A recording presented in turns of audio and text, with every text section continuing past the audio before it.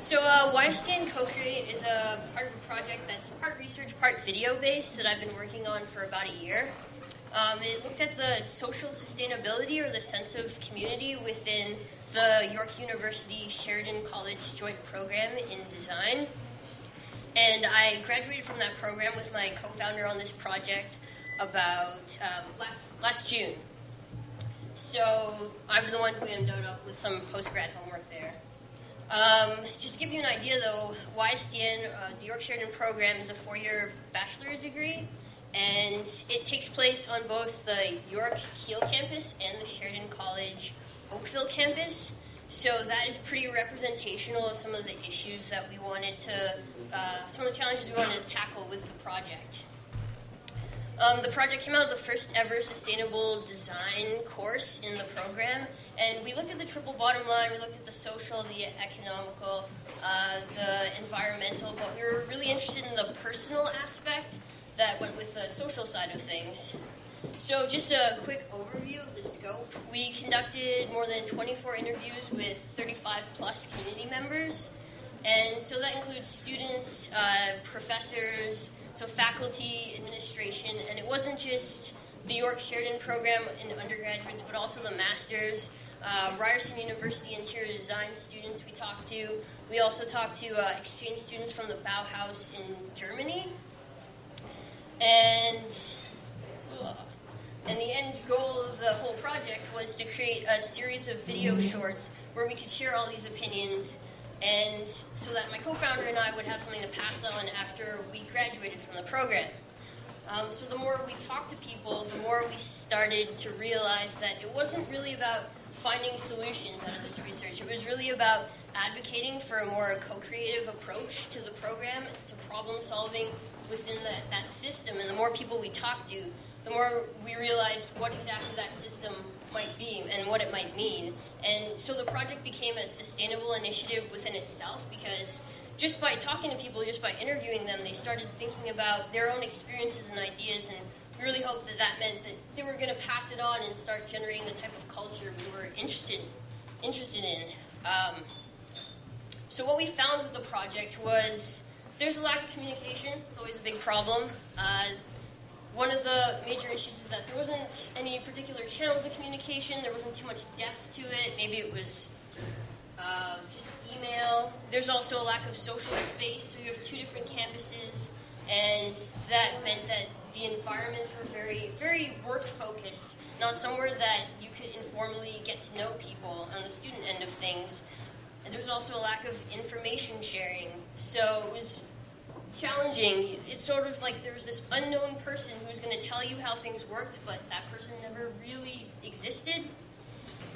And so the flip side of that, we learned a lot about the administrative side of things and how there's not really any consistency you can rely on on the student end because they're only there for about four years, so that's a challenge.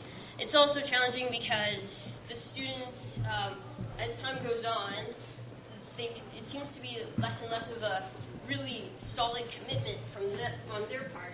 And that could have something to do with the commuter culture, with the lack of environment, with certain aspects of the design process that maybe encourage an individualistic approach rather than a collective approach. So, for example, nobody really would talk in group critiques uh, because they didn't feel comfortable with one another. And the fact that a lot of people would just come into class and then leave class, there's nothing to say that you could actually build a, a greater bond with these people. There's also very little clear goals or direction. So on one hand, that means that you don't really, you're not really identifying or tackling the problems together, but it also means that you can't really celebrate the successes either. Um, and the that was we found that out a lot by talking to profs, where they might be in the classroom right next door to a gold mine of information in their peers, but they weren't aware of it. Uh, students or professors, they didn't even know that they might have been working on similar problems in a lot of situations. So, uh, in the end, uh, if, if I've learned nothing else from this project, it's that you should be constantly sharing, constantly trying to build the relationships that you truly believe in. And by doing that, we can sort of come together to be able to tackle the bigger problems at hand. since graduating, uh, I've been working on the YSDN Co-Create project on and off and trying my hand at video editing. I should probably note I've never, ever done any video editing before, so this was my first foray into documentary, and so it's taken a little while, but we're getting there. Um, one of the things that I discovered along the way was something called service design, which I'm hoping will define itself for you momentarily, but maybe not. Um, the idea of service design, which is big in the UK and the, the Europe, was that you could design an experience, you could design a system, you could design the way something worked, and this is much more prevalent in areas like uh, healthcare and transportation. So TTC, yeah, they should they should get in on that. Um, and I was amazed to find that this existed because I've never learned about it. So it is a collaborative process. It does does lend itself to the co-creative approach that we were looking at. And I thought that design education or education in general was almost the perfect opportunity to put this into action. Especially with designers, you already have that culture in place where you believe in the similar types of values, and yet, I don't know, maybe they need just a little bit of a push to get there. So I've been working with them since then. Um, and I did want to give a shout out. This is the design grad- graduation show from last year that I was a part of.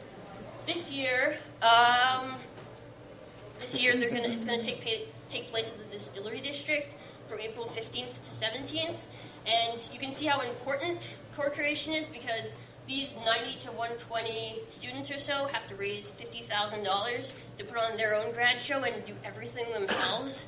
So, yeah, I hope you had a good experience, good story from this, and my presentation.